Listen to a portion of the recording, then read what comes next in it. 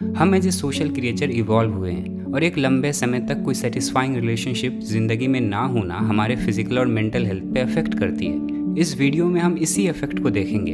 अकेलेपन में इंसान के डेस्परेट और रेडिकल एक्सपीरियंसेस को विटनेस करेंगे। उसमें फंसे व्यक्ति की स्थिति से खुद को रिलेट करेंगे। You talking to me? You talking to me?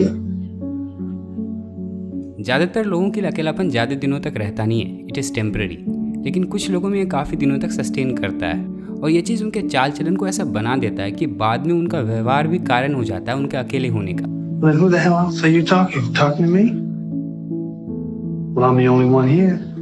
Travis जो टैक्सी ड्राइवर होता है वो एक बहुत अलग और अजीब किस्म का व्यक्ति होता है वन ऑफ़ ए काइंड जो एक शहर में रात को टैक्सी चलाता है और वो भी इसलिए क्योंकि उसे नींद नहीं आती है और वो लंबे समय वाला कोई काम खोज रहा होता है रात के लिए ही इज़ वेरी एलिनेटेड वो लोगों से घिरा रहता है फिर भी उसका कोई दोस्त नहीं होता है वो रात को टैक्सी में बहुत लोगों को राइड देता है लेकिन कभी अच्छे से पीछे मुड़ के किसी से बात नहीं करता है वो मोस्ट ऑफ़ द टाइम चुपचाप देखता रहता है ऑब्ज़र्व करता रहता है चीज़ों को नोटिस करता रहता है.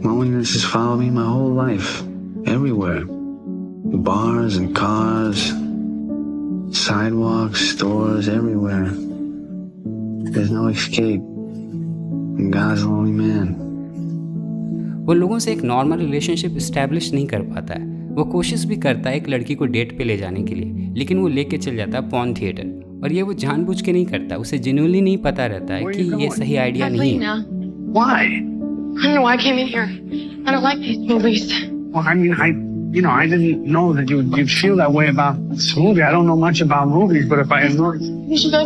Well, yeah, I mean, I come and they are. th- This is not so bad. This taking me to a place don't- like this is about as exciting to me as saying let's fuck.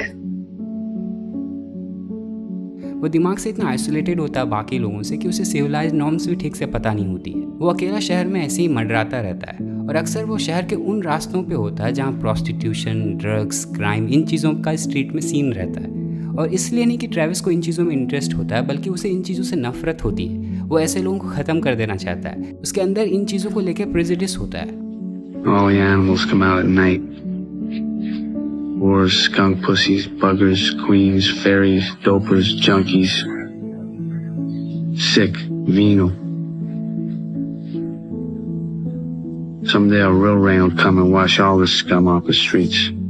और उसका अकेलापन इस नफरत को और भी बढ़ा देता है। इस हद तक कि ही बिकम्स वायलेंटली अग्रेसिव अपनी ज़िंदगी में एक सेंस देने के लिए वो खुद को एक यंग लड़की को प्रोस्टिट्यूशन रैकेट से बचाने का मिशन असाइन करता है और वो इसके लिए मर्डर भी कर देता है But you can't allow him to do the same to other girls. You can't allow him to do that. He is the lowest kind of person in the world. Somebody's got to do something to him. He's the scum of the earth. He's the worst fucking scum I have ever, ever seen.